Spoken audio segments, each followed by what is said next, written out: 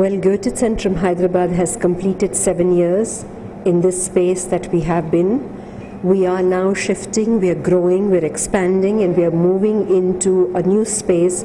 And the project Go Banjara is a project where we will shift to Banjara Hills in a new space which will offer um, us more cultural space, more classroom spaces, uh, more space for learning, office will be larger, and we will have a resource center. So we are really expanding. The city has had the Goethe Centrum for the past seven years, and it is now going to Banjara Hills. The project is called Go Banjara.